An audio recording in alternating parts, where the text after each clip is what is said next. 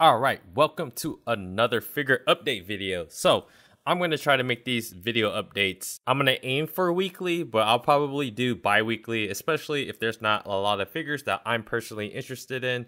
But yeah, this is going to be a pretty short video.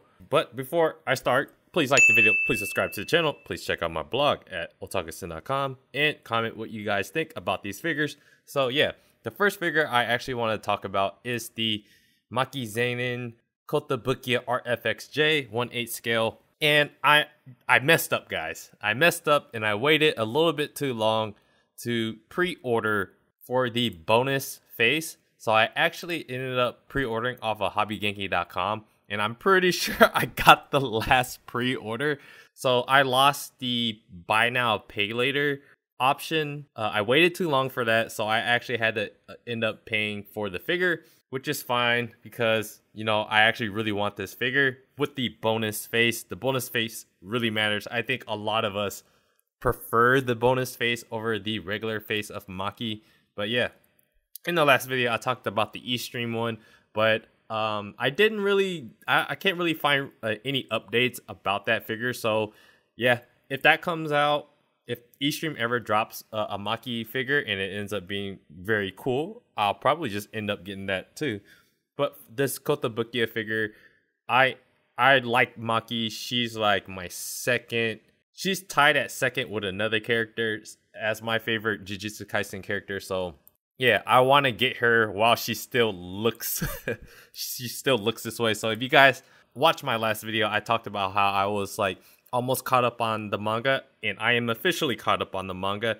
And I posted another blog post about my top 10 favorite Jujutsu Kaisen characters. There's a lot of spoilers on that, but if you guys want to check that out, go ahead check that out on my blog. But yeah, this figure I want it. this is a very very good Maki figure.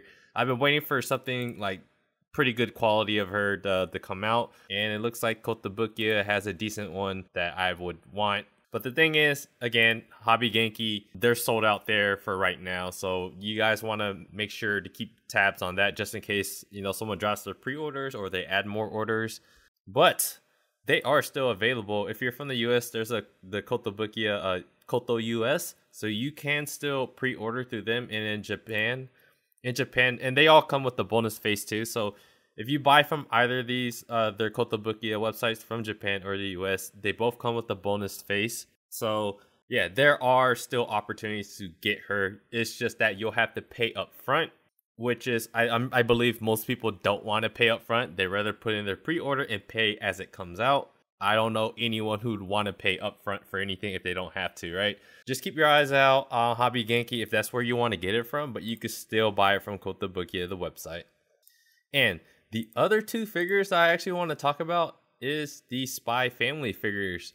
Yeah, so the interesting thing is, if you guys are from the US, Good Smile US, they have a partner products section and they are accepting pre-orders for that Furyu figure of Anya and Loid and they're accepting it all the way up till September 7th. The thing is, guys, you are getting the Japanese prices at this Good Smile US website. So you can literally, this is probably the cheapest legitimate way to buy these figures for cheaper because if you look at Ami Ami, Anya is like 105. If you look at Loid, he's about 130 for the figure. And if you buy it off Good Smile US, it's only like a dollar or two dollars more or less, a little bit less technically. So the thing about buying or pre-ordering from uh, Good Smile US, there's 50% off the shipping. And I took a little screenshot of the shipping prices if you guys were to pre-order it off of Good Smile US. The shipping prices is like 13 bucks UPS ground for Loid and then for the Anya figure, it's about $7.76. So if you guys don't care about when you're going to get your figure, you'll buying through the Good Smile US, you're most likely going to get this figure later than, let's say, people that's buying off Ami Ami or whatever.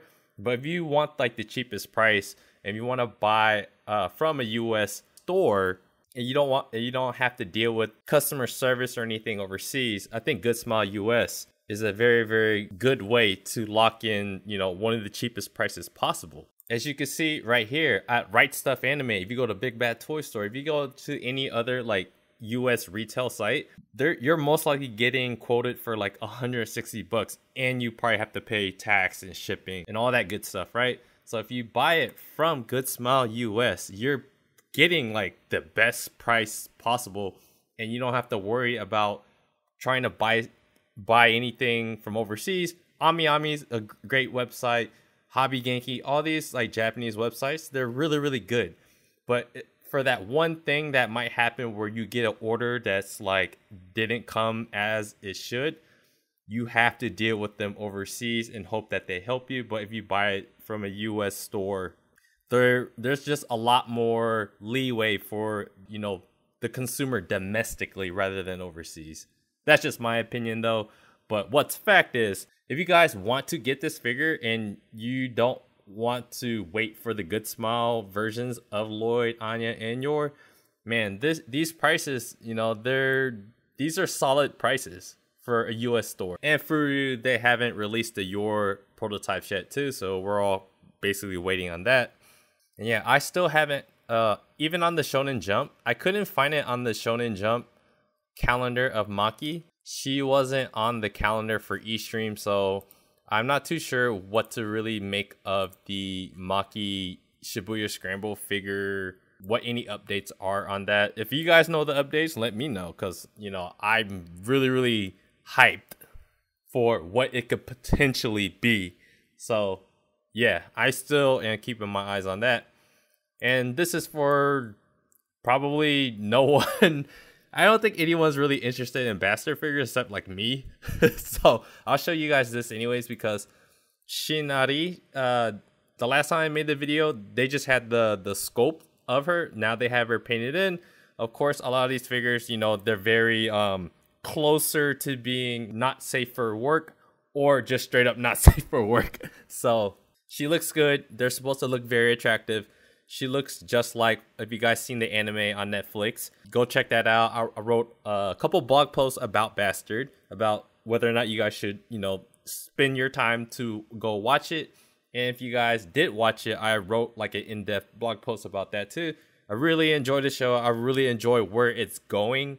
So I like a lot of the characters, and of course, a lot of the characters they're very attractive. And yeah, that's pretty much all I have to say the biggest thing is if you guys are wanting that Maki figure, she's still available on the Kotobukiya websites if you want the bonus face. But if you don't care about the bonus face, but I think you guys should care about the bonus face because the bonus face really reflects who Maki is. And Spy Family, if you guys like the Anya and the Loid Forger scale figure from FuRyu, the pre-order prices from Good Smile US can't be beat if you are from the US if you're buying from Right Stuf or any other store, you're paying a huge premium. And if you're buying from Good Smile US, you are getting those Japanese prices and you don't have to pay those 30 40 50 60 70 dollar uh, prices for very very fast shipping. And that is pretty much all i have to say. I'm trying to make more uh, price figure videos. I'm sure within the next month i'm going to be getting a lot more figures coming in.